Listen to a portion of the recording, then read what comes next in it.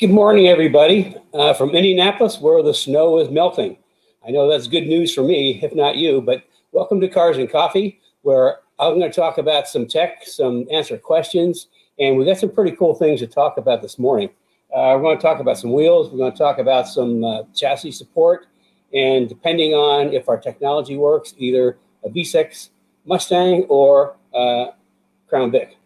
So uh, we, we always, you know us, we always struggle with technology because nobody here is under 30, and that, that presents a challenge. So uh, also, if uh, I look a little splotchy, uh, don't adjust your, your, your picture. Uh, this is the week I went to the dermatologist to be tortured, uh, and I went through without a whimper. And uh, it's I'm ever since I lost my oldest son Paul to melanoma cancer the year after he won the Pirelli World Challenge GTS Championship. I am I am a big proponent of, of uh, sunscreen and going to the dermatologist regularly. So, pardon? And vitamin D. And vitamin D. I forgot that part. Anyway, there's my health talk uh, for what it's worth. So, see, going down the list today, we're going to talk about chassis support, either uh, Paul Dondero's uh, V6 or Crown Vic. Uh, and Forgeline wheel, we're going to talk about Forgeline, three-piece Forgeline wheels. Also, uh, we're going to talk about some some chassis support stuff. Uh, Rich keeps getting questions. He tells me he gets questions that people ask: Is the is the weight of uh, like a chassis, like the matrix system, uh, worth it? Uh, short answer: Absolutely yes. And we'll we'll talk about that a little bit later on. We've got some, some some good questions today, and of course, I say this is Kenny Brown? I didn't. This, this is Kenny Brown, and and, and, welcome to Cars and Coffee again. If you're just tuning in, I got that in early this time. Uh, and okay, don't forget the thumb thing. That really helps us. And the uh, little uh, wrenches that kind of look funny. And if you're on YouTube, And if you're on YouTube, thumbs too. yeah, and just click the subscribe and click the bell.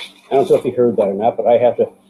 If you're on YouTube, subscribe and click the bell to get notifications of future episodes.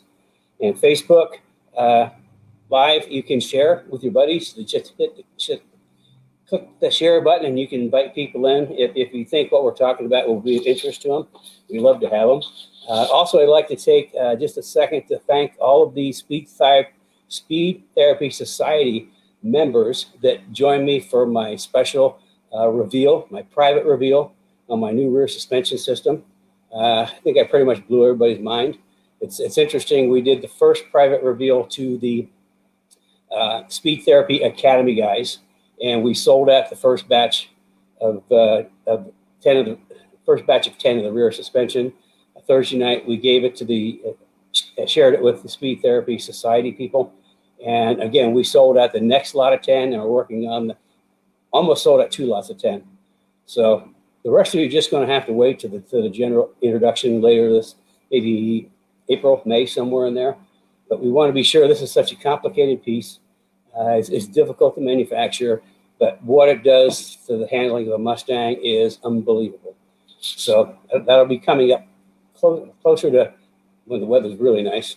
So anyway, th thanks to those that attended. Thank you. And we got the, did the videos go out yet that we couldn't technology? Yes, one the other one's going today. Okay, yeah. For those that were there, they know that you know that we had uh, a technology thing. We had two videos. We had picture but no sound. So we're actually, for the people that Speed Therapy Society, people that registered for that, those videos, one video went out uh, already. I think the other one's going out today. So you'll, you'll have that uh, because the videos are pretty good. I mean, you're really going to be impressed uh, with what's on the video. So let's see. So we've got some quick here questions. Let me turn to my question sheet. Do what? Okay, so we should do the Forgeline wheel first. Forgeline racing wheels. Okay, this is uh, this this is this is a sub. You know, they have substitute T-shirts. We have substitute products today. We were scheduled to introduce a new uh, new uh, uh sports seat for track uh, from from Impact, but like happens in this industry, it didn't arrive in time. And anybody that's ordered anything in the aftermarket is knows that's kind of a common thing. you know, we deal with it all the time when we're building cars. It's like, where is this stuff? Anyway, it didn't arrive, so we just happened to happen to have uh, Roy's rear wheel, we just got back from Forgeline uh, this week from being repaired. He was in an accident. Uh, actually, somebody ran into him. It wasn't his fault. And the wheel got bent, so we sent it off the Forgeline and they repaired it, which is kind of a cool thing about three-piece racing wheels. So let me adjust my little camera. I'm going to cut the top of my head off. And, oh, I forgot. We still have Kenny's Wild Horses up there as the artwork, which was uh, a piece that was commissioned by Carrie on my birthday in 90, 96 uh, by Ron Burton, who is a really, really well-known motorsport artist here in Indianapolis, actually nationally known. He has kind of a very unique style. If you saw this up close, it kind of, you go, wow, that's pretty cool. So let's, let's talk wheels, specifically Forgeline three-piece racing wheels. Now, when I say three-piece racing wheels in Forgeline, there's the first most important thing to know is the center is forged. It's forged aluminum, which means and forging is done with like uh, you start with a chunk of aluminum and use a massive press pressure and heat and kind of squish it and turn it into a wheel, then it gets machined. So when I say three piece, this, this really shows the three pieces really well. Now the the, uh, the forged center we just saw, but here is the the outer shell and the inner shell aluminum. And the, there's, there's, a couple things that are nice about this. When we're, especially when we're, we're working with race cars and we're doing some testing, especially new cars, working on wheel sizes, uh, it's really easy to change the size of the wheel. If, if you want to take a half an inch off the outside, you just get an outside shell that's half an inch shorter. And if you want to take it half an inch off the inside or an inch off the inside, you get an inside shell that's an inch shorter, or vice versa. So it's, it's pretty versatile on, uh, adjusting wheel wheel widths. This is an 18 by 13, which is a pretty good sized wheel. And even so, it still only weighs like 23 pounds. I think a factory wheel of this weight would weigh at least twice that much, or this size, would weigh twice that much. So you see the outer shell and the inner shell, aluminum. Spin it around here. And this is the, the, third, the third piece is the, uh, the forged center. Now spin this all the way around. And you can say, you can see by the inside, this, this really is a racing wheel because you can see all the stuff that's stuck to the inside. It's, uh, if you ever raced, you know what it is. But this, this particular wheel has pattern for the Mustang. You can see all these little bolts all the way around are what hold the wheel together. And there's, there's a gazillion of them. So there's a pretty good seal and it's pretty strong. I never counted them. There's a bunch. But that's, that's how a three-piece wheel is held together with all these little screws. So that's kind of like a, a forge, Forgeline racing wheel. Uh, we use we use two, two different kinds. like I say, when we're, we're, building a new car, we'll we'll start with a three-piece wheel, and then once we're pretty confident we've got the, the wheel width and the offset right. Well, that's something else too. You can change the offset by just by by switching the hats side you know, in and out. You can move the offset in and out. So once we're confident in like on David's car that we're building, once we're confident with the the, the wheel uh, back spacing and wheel size, then we'll go ahead and get a set of one-piece racing wheels uh, made for us, custom made at Forgeline. So here we are. Oh, and then those that haven't been with me very much, this is my trusty toolbox that's been with me for over 40 years. And between me and that toolbox, we've been to every major racetrack in North America and won a lot of races. So, uh, and in fact, I still use it every day. Uh, you know, I'm, I'm, I'm not just somebody that doesn't know his way around cars, and I know my way around cars because I made my living out of that thing for a long, very long time. So we need to get on, move on to uh, what we are going to talk about today.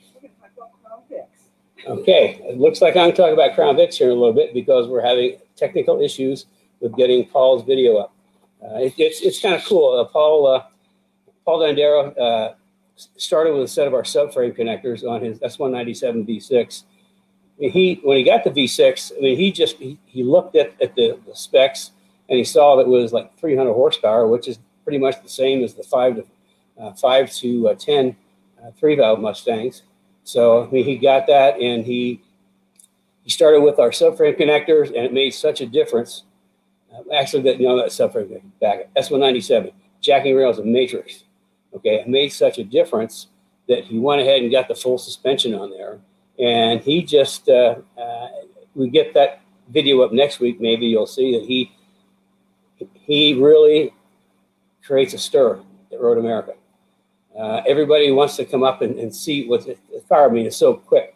Now the V8 kind of just blasts down the, the straightaway on him, but when it gets to the twisty bits, I mean, he is all over them. Uh, and uh, you know, everybody wants to know what's in his car. And when they find it's a V6, they go, "What?"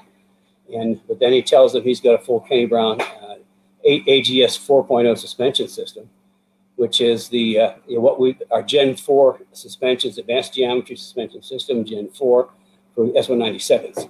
But cool thing is Paul's really, really going to be even faster next year because uh, he's we got a set of JRZ shocks for him, which you know that's our, the shocks I have custom built for me in the Netherlands to my specifications, and uh, I'll, I'll, put uh, a custom uh, individually pick the springs for individual customer depending on their use. But he's also adding the new rear suspension, so he's upgrading his car to a full AGS 4.5, which is the next generation of uh, AGS suspension systems. Like I say, you have to wait to the spring. Otherwise, the people are going to have them probably going to be out there kicking some butt. So uh, from that, I'm going to move on to questions. Uh, let's see. Angie Parrish, uh, we're curious. Is this is this the end Angie Parrish that's from Indy with the yellow Mustang? Uh, if you're out there, let us know. He, she wants to know the importance of actual wheel weight and or tire weight, if any, and could uh, could he, I guess me, talk about tires and the quality and the kind I use, uh, I've, I've, had success with. Okay, wheel weights, you know, the weight of a wheel is really, really important. And not so much if you're just driving around town, uh, but if you're on track, uh, the, the weight of the wheel has a big impact on what's going on.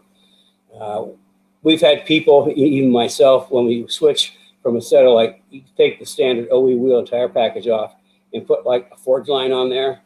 I mean, it doesn't take very long. You can feel the difference in the steering. I mean, the steering feels lighter, uh, the car moves better. And the reason for that, there's two things that, that you're doing when you reduce the weight of the wheel and tire, because the like the factory wheel is like 30 some pounds, and our Forgeline, let's see, uh, 19 by 10 or 19 by 11 are in like the 20 pound range. So I mean that cuts a, that's a lot of rotating mass. Also, the performance tires, like we use the the uh, Pirelli Corsa, which I'll get to in a minute, are lighter than a factory tire. And you can just feel that. So there's two things. Number one, it reduces rotating mass. Okay, wheels and tires go round and round, just like on the bus. And but they it's it's it's it's mass. I mean, you've got to take energy. It takes energy to move something and put it in motion. So if you get something that weighs a lot less, it doesn't take as much energy energy to put in motion. That's the first benefit. The next benefit is the, for the suspension. If you got if you reduce the the mass, not the rotating mass, but just general unsprung mass. And unsprung mass, unsprung weight is what's not suspended by the chassis. So wheel, tire, brake, that would all be considered unsprung mass. So you reduce unsprung mass, and what happens is the the wheel uh, moves a lot a lot quicker uh, it's a lot easier to control from the shock. Uh, it, it, just, you know, it's just, you know, if you had to lift something up that's, that's 10 pounds, lift something up that's five pounds, there's a big difference. Well, same thing with your suspension. If it's got to move a, you know, 30, 30 pound, 40 pound wheel entire package up and down versus a 20 pound, I mean, that, that's a lot, takes a lot less effort, which means the suspension reacts a lot faster. So that's kind of like, you know, the, the, the lighter wheels really make a huge difference in, in a number of different ways. So, and our other question is uh, talk about the, the tires, the quality of tires, and what we've had success with. Well, there's, you know, there's a lot of really good tires out there. I'm not going to talk about all season because you know we we're talking summer tires here. But in the the max performance category uh, for the street tires that you can take to the track, uh, the the one that I kind of prefer is the Michelin uh, Pilot Sport. It's either S4 or 4S that's a really good tire and a really good track tire. Then the one that is almost as good as that is the Super Sport. So those those are good street track type tires. Now on track, there's there's three types of tires we typically use for track cars. Uh, I know there's a lot of good ones out there, but I mean, I've kind of pretty much found something I like and stuck with it. I mean, the first one is the P0 Corsa. I've been using that tire for a long time. I mean, I really like it. It's uh, it, it's I mean, it's you can just feel the grip. It's a really grippy tire.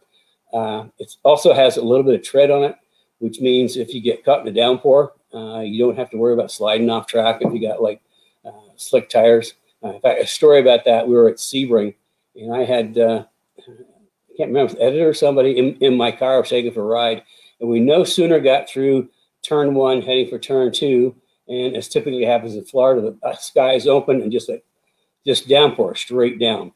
And uh, I just, you know, I kind of slowed down a little bit, but I really didn't like crawl around. And he was just holding on, thinking we're going to slide off the track, and we didn't. I just kept driving. And as soon as we got back, we had to wait like for 15 minutes or so until the rain stopped. First thing he did was jump out and he looked at the tires. He to know what tires I had on the car that would do that. And also the Corsas, if you watch Formula One, uh, they have the tread pattern is somewhat uh, uh, resembles the intermediate uh, Pirelli intermediate uh, Formula One tires. So that, that's kind of like the one I use the most. It's got pretty decent tread life for a track tire. The other Pirelli that's, that's super sticky is the uh, Trofeo R, which is like this short of a race tire. And I say that because the Trofeo R, when we do when we do tire temperatures and pressures. Now, if anybody's been with me for I'll know I'm just I'm, I'm just adamant about getting tire pressures, tire temperatures, so we can set tire pressures. And with a DOT type tire, at the end of the day, after working through the temperatures, we typically have four different pressures on all uh, four different corners because we're asking each corner, each tire, and each corner to do a different job. Obviously, the left front works the hardest, right rear works the least. So we end up with different different pressures at the end of the day. The Trofeo R is actually built on a race type carcass, but it's still a DOT tire, which means like on the Pirelli slicks, uh, we work to specific pressure. Uh, Pirelli slicks need to run somewhere between 30 and 34, and 32 is typically where we're running and and it's just it, you just set all four of them the same pressure you know 30 32 or 34 or sometimes we do you know uh, 34 in the front and 32 in the middle anyway but it has to be a specific pressure now the Trofeo R's fall in that same category I mean that you don't you don't set them like a DOT tire you work to a specific pressure and surprise it's the same pressure range as in for the Pirelli slicks which is uh, 30 to 34 again 32 seems to work the best now, the other tire that kind of falls in between that, that a lot of our customers use, is the Michelin Pilot Sport 2. Pilot Sport 2? Yeah, and that's that's kind of as far as tread wear. Now I'll go back to tread wear. Now the Trofeo R is because it's I mean it's it is like this short of a race tire and it is super sticky, super grippy. Uh, that means it's going to wear out sooner than like the, the, the Corsa. And the the, uh, the Michelin Sport Cup seems to fall right in the middle as far as wear. Uh, also on the on the grip category too. It's kind of like between the two. So those are the three track tires I use. Uh, have the most experience with, uh, and of course a lot of our, our club racer guys will run Hoosiers. But for you know, I don't know that that's the best tire to run for track days. Uh, I don't I don't like people running slicks at track days. It uh, uh, slicks will create bad driving habits because you know, street cars are not engineered specifically to run slicks you need you need the right springs and the right shocks to run slicks and be effective. I, I tell people, and some people think they're going to be really quick and go out and buy some because you can get used slicks, you know, pretty reasonable. Go out and get a set of used slicks, and uh, you know, the two things are going to happen: either going to drive off the track because they're going to think they're they got you know they're they're they're Mario Andretti, and then all of a sudden the tires let go and they're, they're lost. They don't know what to do, or they're going to wear out the outside edge in the front and that's because there's so much grip in the in a slick versus a street tire that there's there's no slip angle.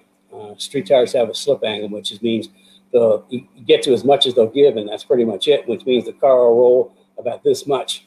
But when you put a, a super sticky slick on that that doesn't have much slip angle, all of a sudden the car's going to roll a whole bunch more.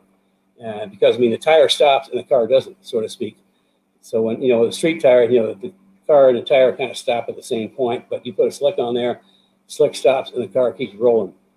Mustangs have what's called a positive roll front suspension, which means the more the car rolls, the more positive the uh, the, the uh, uh, alignment goes. And positive camber is when the top of the tire sticks in, no, out. Uh, and the bottom, and the and negative is when the top of the tire sticks in. So you want always run. That's why we run like two, three degrees negative camber on S197 Mustang is so that when the car rolls in a corner and it goes to positive roll, then all of a sudden the tire's flat and you're getting maximum grip. Now, with just a little side note on our on our AGS suspension for 197s, there's only three three elements to, to my S197 suspension: rear grip kit, front grip kit, springs and shocks. But on the front grip kit, I do a lot to I make, make a lot of geometry changes, uh, anti-dive, uh, roll center, caster gain, camber gain. So with with AGS and the, and the right spring setup, you don't have to run quite as much negative camber because the you know the the I, I make geometry adjustments so that you know you don't have the car doesn't roll so much and the tire doesn't go positive so much. But anyway, that's why they put slicks on and they wear out the outside edge of the tire pretty quick, and it'll, it'll give them like really bad driving habits. So I just I strongly recommend people don't get a set of of used slicks and put them on their car for the track. And I have a I'm just waiting until you finish because I want to say something about Angie Parrish. Oh, okay. She's waiting until I finish. So anyway, it's kind of like you know, if you're if even if you run like track tires on track, you really need a better spring and shock package. Even if you don't uh, do a geometry change, uh, you need to have far the, the stickier the tire, the more spring you need. Because like I say, the tire will stop going and the chassis will keep rolling. Uh, you know, people that run slicks on on like stock Mustangs, you know, stock Mustang has maybe a 150, 170 pound front spring. Uh, Pirelli slicks on like like Paul's World Challenge car with motorsport shocks uh, will run spring rates like 850 to 1,000. So I mean, there's a big difference between 150 and 850 in spring rate for slicks. So just just please don't run slicks on a on a stock car.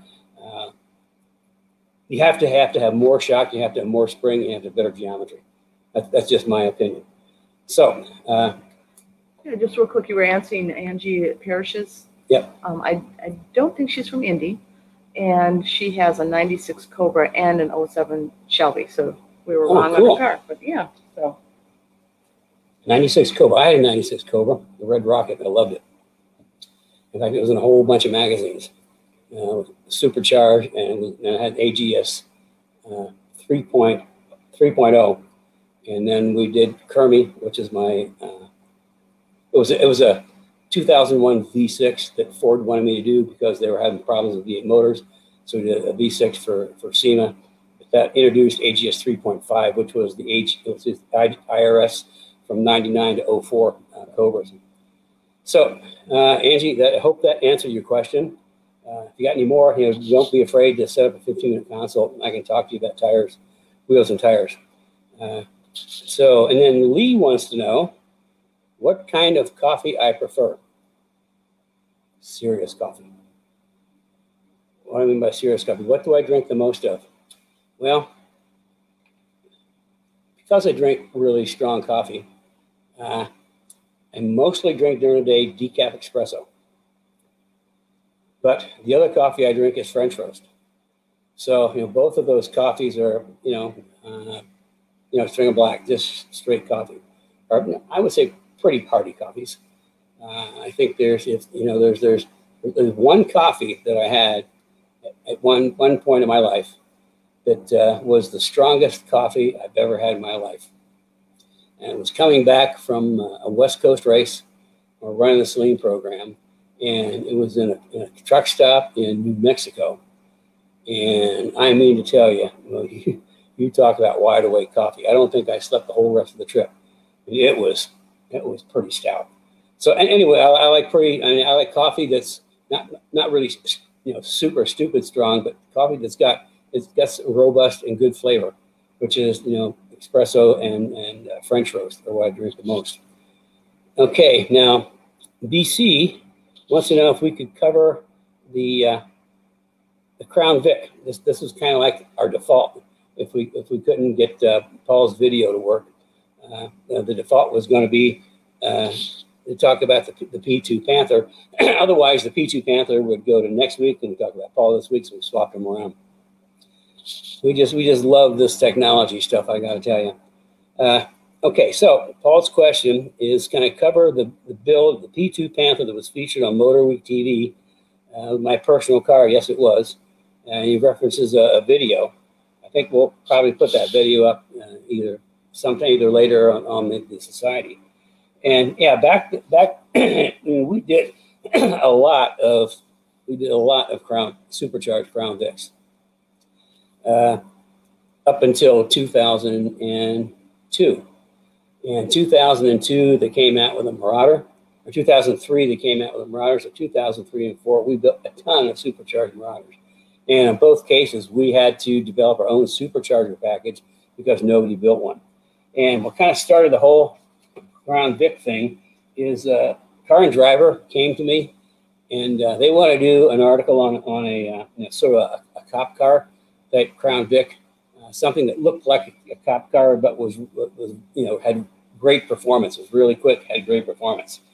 So uh, we you know we we started working on on the whole Panther platform and uh, came up with a pretty good package. we did our own supercharger and we actually blew one motor up in the Ford Proving Grounds up in Detroit with the the, uh, the calibrators trying to get it right.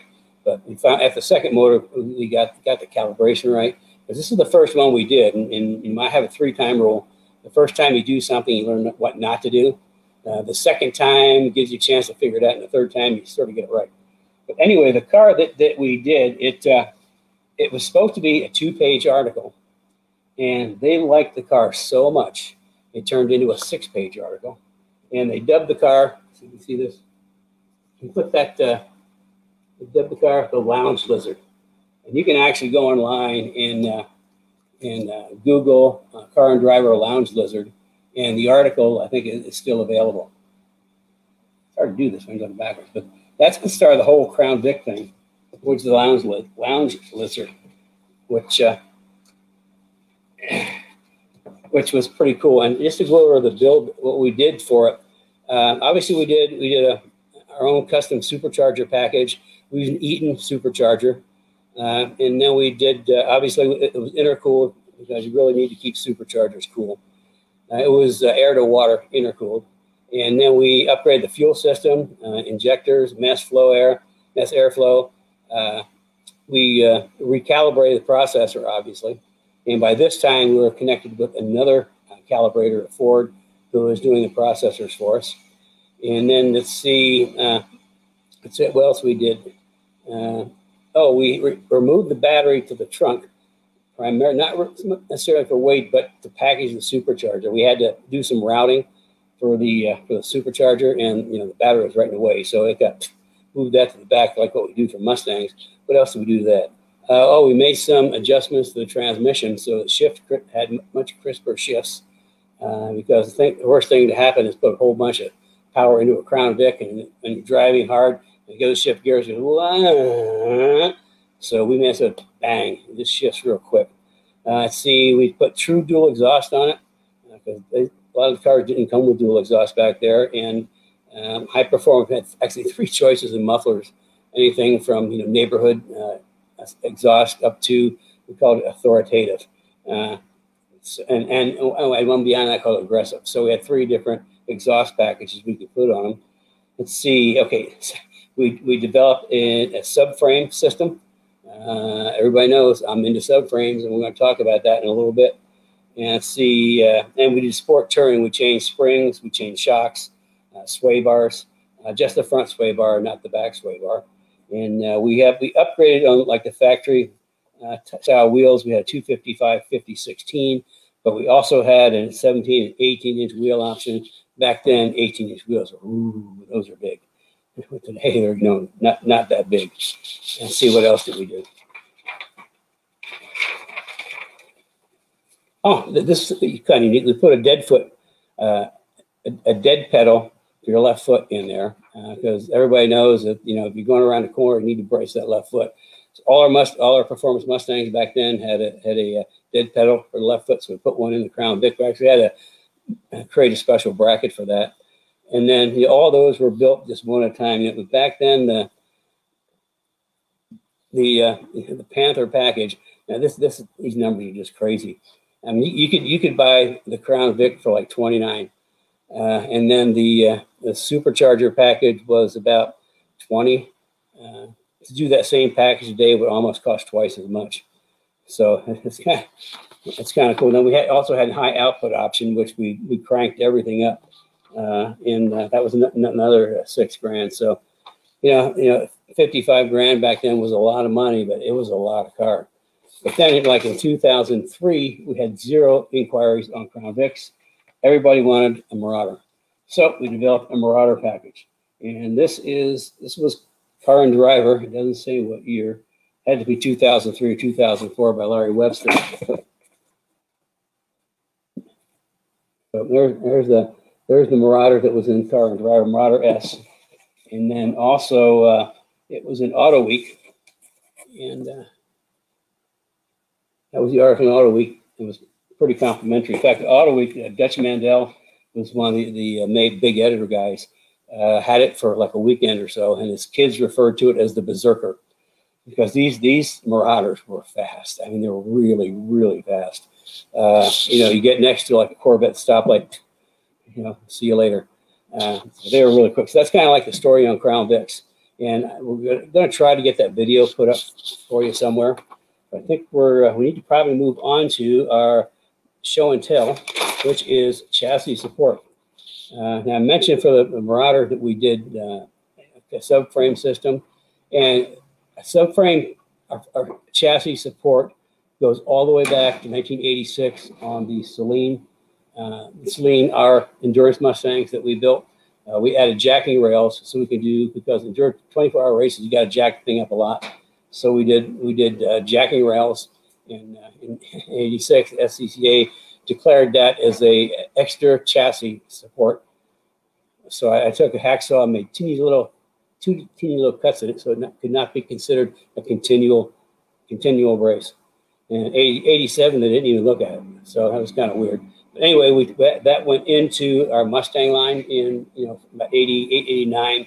Uh, but you know the Mustang without without a full cage the, the Fox Mustangs were pretty twisted. They were, they were like a tin can. Uh, I mean, we actually had people come in that had the floor had torn right behind the driver. The floor had torn from the, the outer edge all the way up to the the, the, uh, the tunnel. Uh, that's how that's how how much they twist. So we'll start with, with jacking rails. This is this is this is that's a long one. That's from the Fox S197, and they weld to the, the pinch weld. That also is for Gen 1 Mustangs too. Use the same one for Gen 1 Fox SN, S197. For SN95, it's a little bit different platform. So we came up with this design, which has these little holes that, you know, kind of the little pins that go through. They have to have a place to go. So we made this a little bit different. In, in all cases, it, it, we do a stitch weld to the, you know, the pin, we do stitch weld the pinch weld line along the, the rocker panel so that you can jack the car up any, anywhere along the, the rocker panel. You can jack the car up, which makes it super handy. And, and then you put jack stands uh, underneath it on the outside. It leaves a whole underside of the car to work on. Uh, and but we do for our, our, track cars and race cars is we'll actually put a little arrow on the rocker panel uh, where the, the, best point to put the jack, you know, to balance to put one side up at the same time. And then on the on the jack, you put a piece of tape.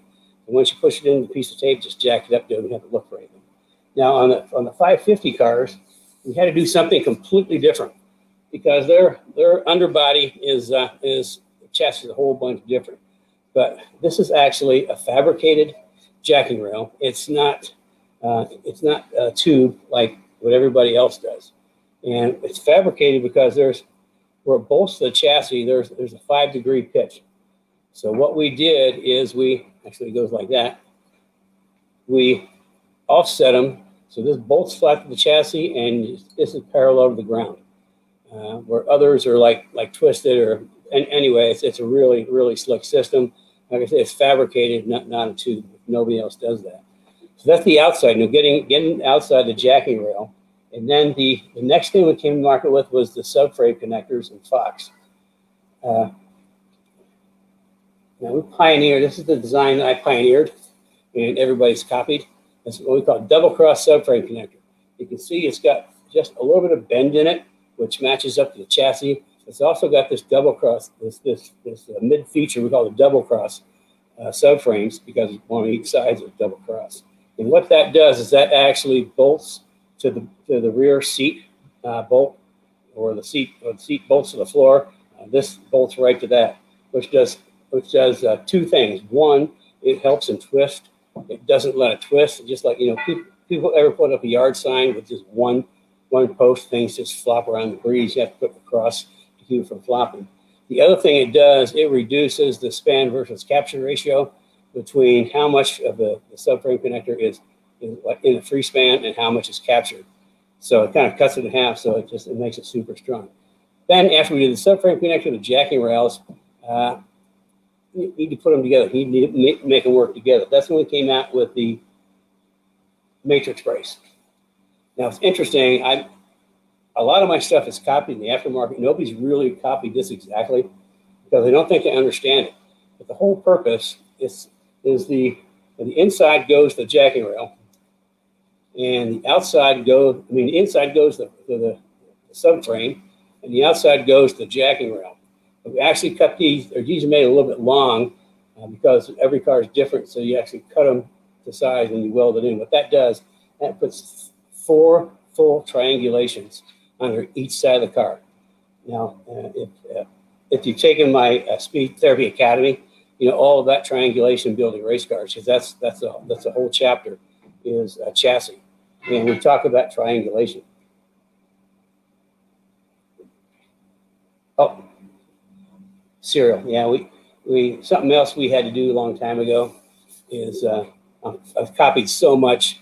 All of our parts come with a serial tag.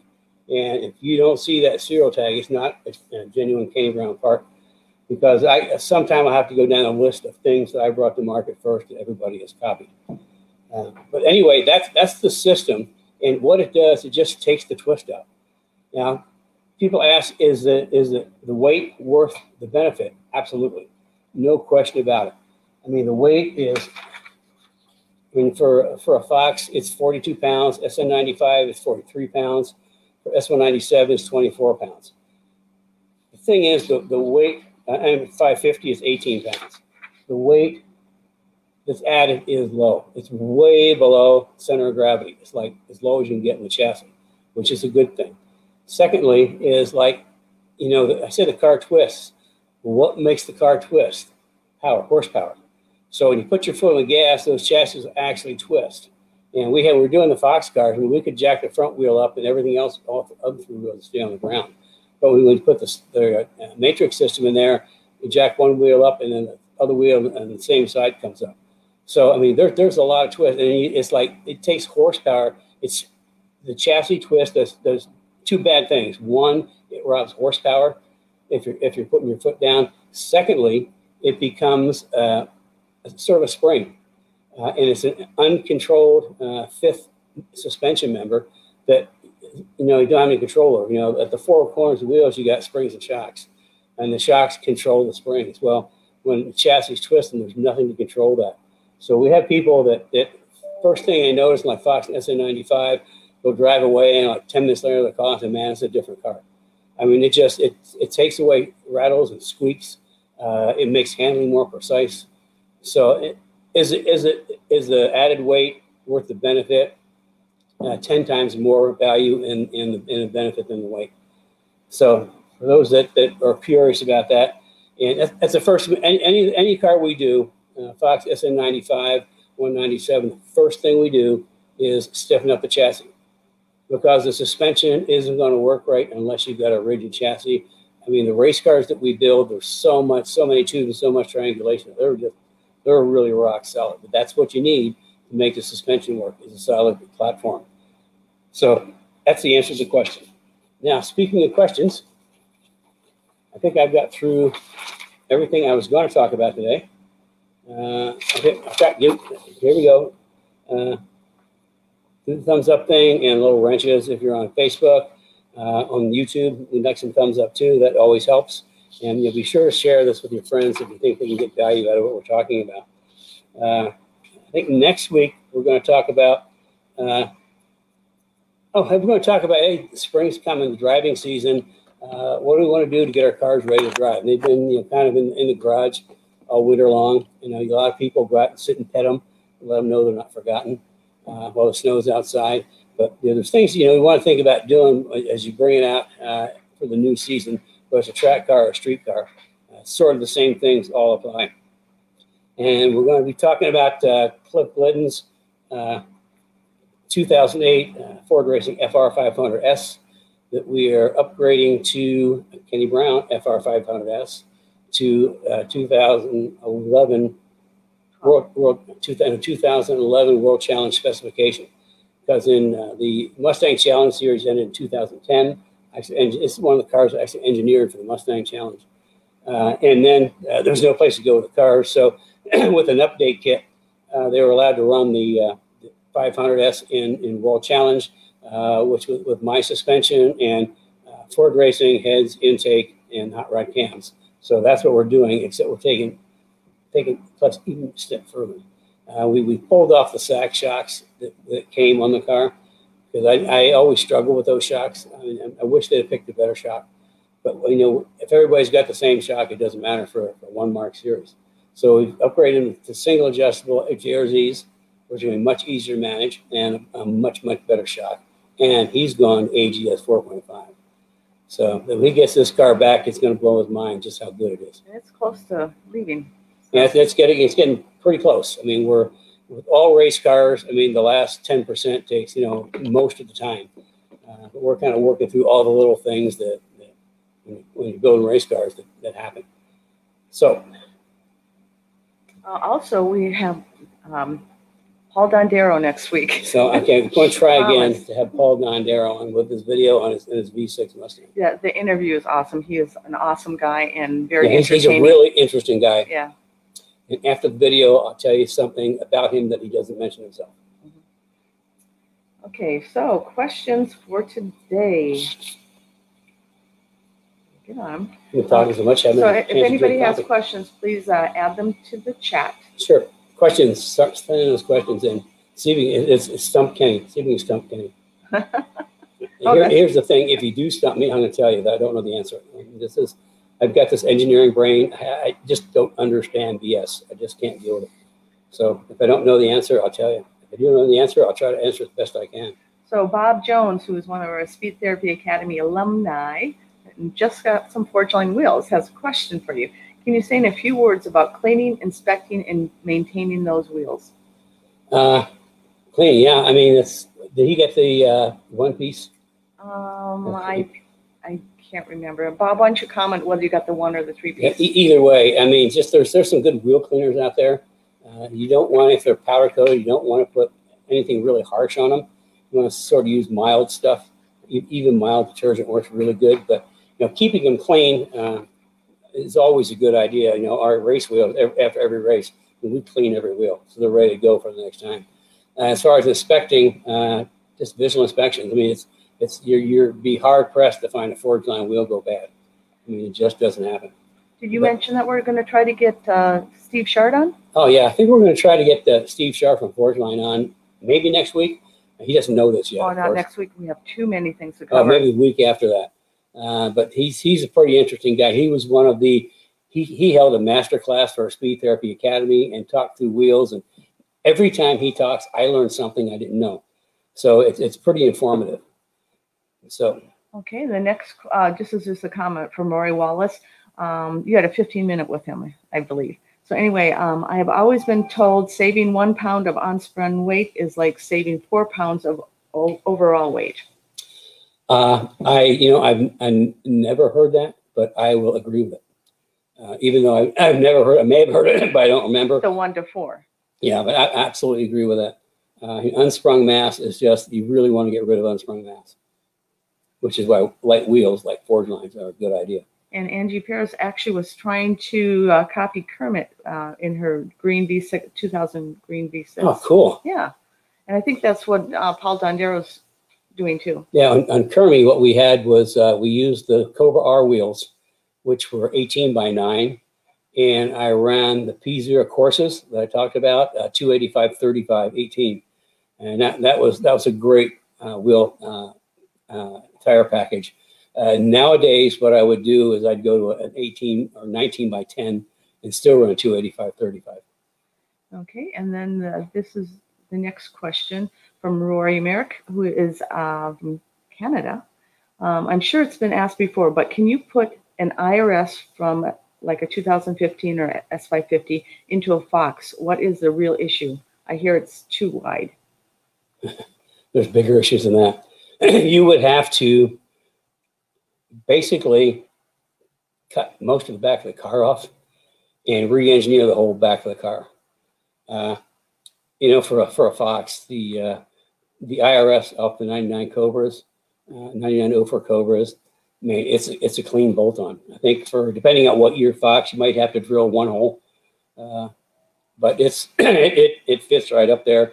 You know, we've got a full range of parts. We got we got you know we got four different phases of upgrades for for the IRS package because we are the only people in the aftermarket that support 9904 IRS or IRS packages. No, but nobody else does it. We do. I mean, we've got control arms, coilover shocks. We've got you know four phases, and we'll talk about that sometime, all the way up to uh, modifying the carrier with uh, a chain, you know, cut all pickup points off and put them back on. Uh, people that follow me know I'm just nuts about ge- getting the right geometry underneath the car. So I, I would, you know, forget the 550.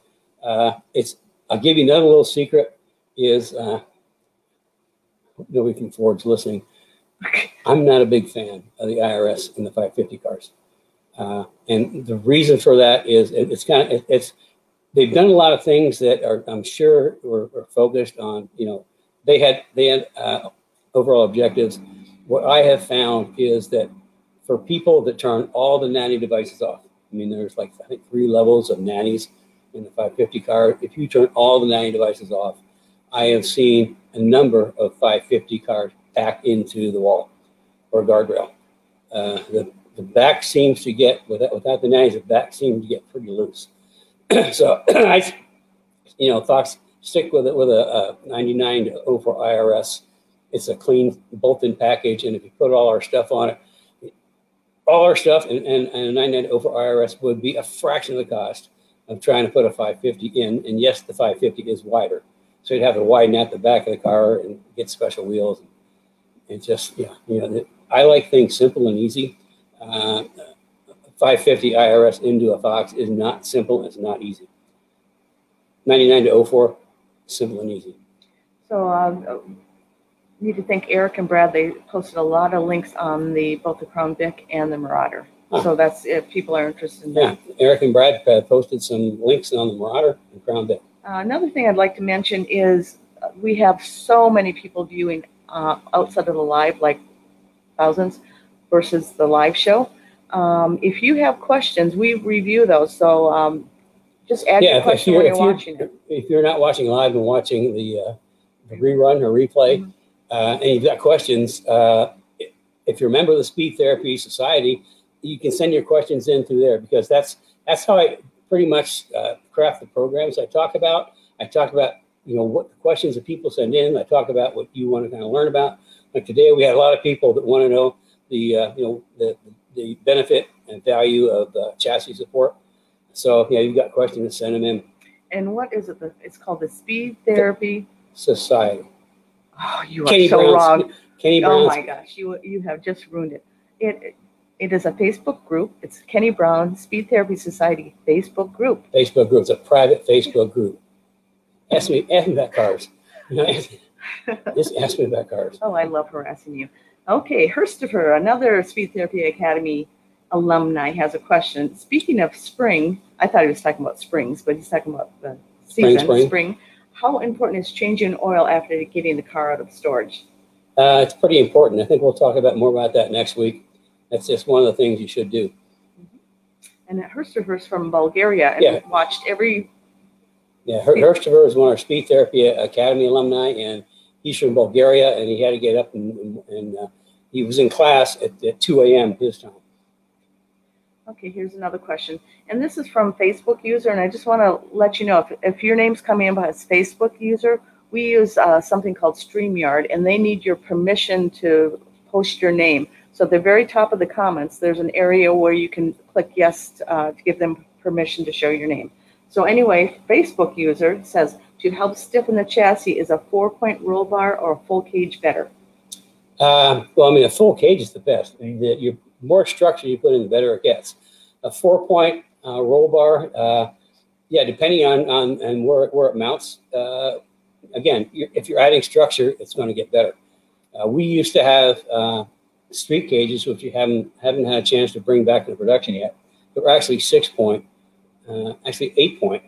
We had like the main hoop that bolted to the floor, and also the main hoop. We had a tab that bolted to the the B pillar seatbelt seatbelt thing, and then we had two braces that went back real close to the rear suspension, and then we had two braces that came down low and went like, by the door sill and mounted up by your feet. So that added a lot. But even so, I mean, a good four point the 197s, and we have you know we add a 197s and 550s. We, put a four point in uh, that, that does a pretty good job. Yeah, uh, structure structure is good.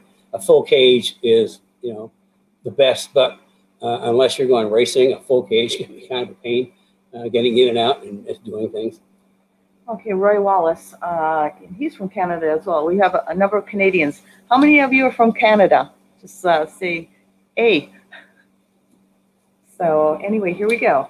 Roy Wallace, where would you suggest adding bracing ahead of the firewall for an SN95 with stock K-frame? Again, where would you suggest adding bracing ahead of the firewall for SN95? Uh, strut tower brace. Uh, I mean, we had we used to have a, a full range of uh, strut tower braces, you know, before I had my health thing, and we haven't had a chance to, to bring uh, them back yet. The, the only one we have in production right now is for the 0304 Cobras. Uh, but it's, it's kind of like I got a long list of products I want to bring to market. But this, you know, what I introduced uh, Thursday night, uh, I've been working on for a very long time. It's just taken a lot of it's taken all the oxygen out of any other uh, product, product development. Uh, but that's that's done. We know, we're starting to produce them, and uh, so I can start looking at other things that we can bring to market. Okay, we'll bring you back because he said, where would you suggest adding bracing? Well, now, what would you? Well, it's a three-point strut tower. A three-point strut tower brace. Strut tower, strut tower firewall. Uh, it's you know people think that you put a strut tower brace on, at least with ours, uh, you're just adding one triangulation, but in reality, you're adding four triangulations. Because if you look at it, you know, from the top down, you've got the, you know, the, the diamond in the middle, uh, you know, firewall, stretch tower, and across. But if you also look at the frame, the firewall, you've got two more triangulations. So that, that's where I, I, would put the bracing is on the top because the stretch, strut towers are going to move. Okay, so I, I have, um, I'm going to plug the uh, Oklahoma Mustang Club of America. So the MCA National Mustang Show is going to be September 3rd to the 5th of this year in uh, Mustang, Oklahoma. Mustang, Oklahoma, yeah, Tulsa. Cool. Yeah, sponsored by the OMC Oklahoma Mustang Club. So again, if you want to attend the national MCA event, it is in Mustang, Oklahoma. You can contact the Oklahoma Mustang Club, and their email address is Great Mustang Roundup. Yeah, we, we probably, yeah, it's in the probably put that in the in, the comments or yeah. in the society. Yeah, actually, it is in there. Um, and Bob said his. I should have known this. He has three piece wheels. Is he's going to go okay, three piece wheels series track? Yeah, I mean the uh, just the thing to do is I mean, I mean they're, they're going they're going to last a long time, uh, but just just you know every season uh, we just you know inspect the wheels. Just look for anything that looks suspicious, any, any kind of crack or anything. Uh, but yeah, they'll they'll they'll last a long time. I mean, Forgeline is, is absolutely top of the line products. Okay, Rick Fowler has a big question. Your thoughts on the future of gas-powered Mustangs? Boy, that is a big question. Yeah. yeah. I don't know that I'm totally equipped to answer that question, but I'll give you my thoughts. Uh, I don't know. Uh, certainly, I mean, we've got a few years of uh, gas-powered Mustang, but the Mach-E has come onto the scene, the Mustang Mach-E, which is an all-electric. Uh, it's uh, it's branded as a Mustang, but because it actually has performance of a Mustang, Uh, and they've got, you know, Ford has run some uh, electric drag cars, you know, Cobra Jet, not really Cobra Jets, but Cobra Jet type car. They're all electric, 1400 horsepower, something like that. I, I, just don't know. Uh, I saw somewhere just this past week, maybe some spy shots of the next generation Mustang, and it did have exhaust, had uh, uh, two uh, twin tip exhaust uh, on it. So I'm guessing next generation, you know, who knows? It might get that new Godzilla motor for all I know. Oh, I forgot to mention that. Roy, Roy, when you were talking about the Marauder, you thought the Godzilla motor in the Marauder would be awesome. yeah, that would be pretty cool. Those that aren't familiar, the, the new Godzilla motors, what's in the, the, Ford heavy duties, and it is it's a push rod motor. Uh, it, you can you can easily get a bucket of horsepower out of them. Uh, they're really cool. And if you want to know more, we had Evan Smith on Evan last week. Yeah, or last week. Evan was on last week, and if you go to, to Evan Smith's Revan Evan. YouTube, he's got like maybe five or six uh, videos on, on the Godzilla motor. Uh, but they're you can make you can make big horsepower with push rod motor. Uh, I, th- I think Ford should have done this motor a long time ago instead of the uh, the modular, at least the, the two valve and three valves. Once they got the four valve, and all of a sudden they got you know, starting to get it right. We got the Coyote, they got it, they nailed it.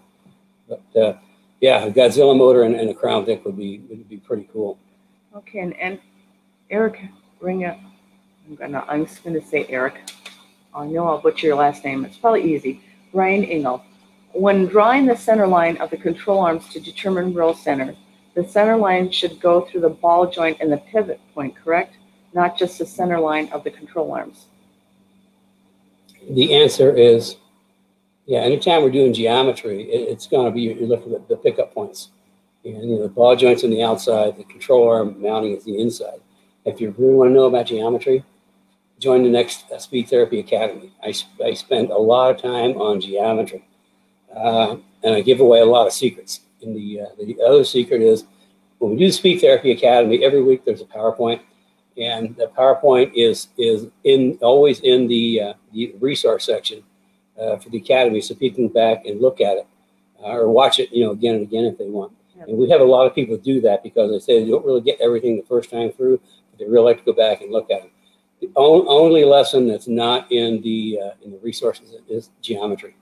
Uh, it's like, I mean, I, I, I talk about secret stuff, and we talk a lot about uh, suspension geometry because you, know, you look around. I'm probably you know, the guy in in the Mustang world that really understands suspension geometry because I've been doing it since '87. Okay, we have a question from Eric Stadell. He has a question. Is there any way to reduce the NVH gear noise coming from the third link on the S197? Uh, yeah, the NVH gear noise is, is not the third link; it's the gears themselves. Uh, yeah, I mean it's if you've changed gears, uh, it's really hard to get them set up so there's there's no noise, especially if you go deeper. Deeper the, deer, the deeper gear that you go, like you know the the higher the the number, uh, the more uh, noise you're going to pick up.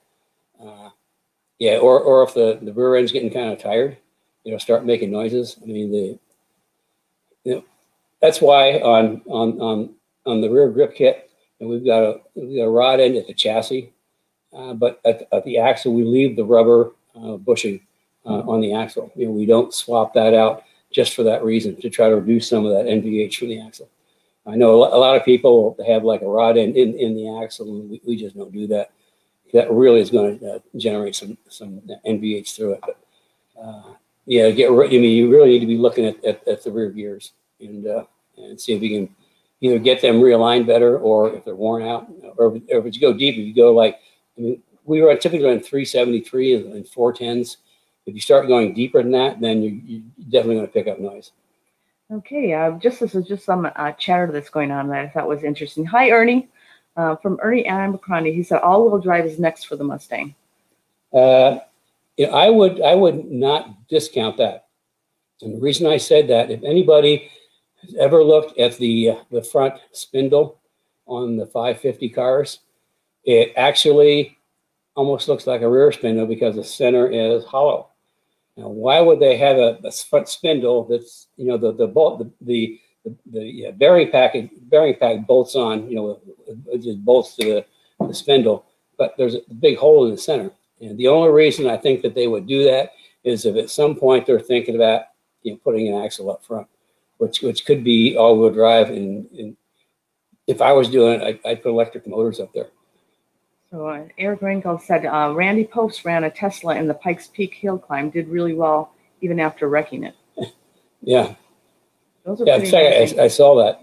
The uh, yeah, he, he doesn't make many mistakes. I'm, I'm gonna say it's the car that did it, not Randy. Yeah, he's a good driver. Okay, and here's some excitement. Um, Facebook user, we don't know which Facebook user this is, but just ordered a new F-250 with a Godzilla engine in it. He's looking forward to it. Woo! And uh, Brian West uh, comments, might be an aluminum block Zilla, but probably only a 6.2. So, and then one more comment, and then we'll get back to some questions. Um, NASCAR announces that next-gen NASCAR vehicle will be introduced soon, possibly will be on track in 2022. It is a hybrid engine with batteries, six-speed trans, and single nut hub tire and wheel retainer. Whoa! NASCAR is actually moving into the 20th century. Okay, and this is And a, NASCAR historically has has really poo-pooed technology uh, because like Formula One is all about technology. NASCAR is all about entertainment. So the cars have pretty much been the same for a very long time. Just going to fuel injection was like a huge deal. Now it sounds like they're going to centerline wheels, which is like the rest of the racing world, and uh, batteries even uh, hybrid. That's be kind of that'd be kind of interesting. so uh, this is last call for questions. So if you have any more questions, feel free to put them in the comments and you know, it. answer another one or two. And while we're waiting for the questions to come in, we're going to talk about the reveal that we had on Thursday night and uh, how the people in the reveal, if they order, they get to get the special driver coaching bonus session with you. So Yeah. you need to order by this Sunday. And then next Thursday, we're having a bonus driver session and all the uh, Speed Therapy alumni are invited. Yeah, just uh, the thing is to send in their videos, and you know we'll kind of talk through, and I'll do a little coaching on driving. Uh, it's something that we did we did for the Speed Therapy Society Academy. Uh-huh. Uh, it was the last two weeks or so. We, we did uh, guys sent in their videos, and we you know we all sat through, and I gave 'em my my thoughts on you know where the car should be, where they should turn in, things like that. Yeah, So- it's pretty interesting. I think they learned a lot from that. So this will be just a little sample of the Yeah, Speed I Therapy can't, Academy. can't wait till Joe gets back to Eagles Canyon and tries driving again. I know. Has he done that yet, or is it coming up? Uh, it's coming up in the beginning of March. So I gave him a whole bunch of tips on uh, uh, how to be quicker. okay, so I don't see any more questions here. So again, next week we will have um, Paul Dondero. Um, We're working on this technology thing. sorry, Paul, I know you're there. And then um, what are you talking about? The spring? What you tune up on your Yeah, car? preparing, preparing for spring. We talked about Cliff's uh, FR500S update. Mhm. Big update. Show some pictures. And we don't know what we're going to do for show and tell yet. That always kind of like pops up in the middle of the week. Of course, send your questions in uh, through the Speed Therapy Society. Uh, if you got question, more questions, if you're in the the, the after group that you know watches the, the reruns, uh, please send your questions into the Speed Therapy Society, and uh, you know I'll you know I'll do the best I can to answer them. Like I say, if, if I know the answer, I'll tell you. If I don't, I'll tell you that too. I'm just not not good at BS. It just doesn't work for me. Unlike a lot of people, a lot of people sell parts in the aftermarket. Okay, well, great. Good session considering we had to Adapt. adapt. adapt two adaptations today. Adaptations. We had to switch from the seat to the wheel, and from uh, Paul to the Crown Vic. But the Crown Vic was a question. Give us And you know, my, my closing comments is use sunscreen. I mean, I, I can't stress that enough.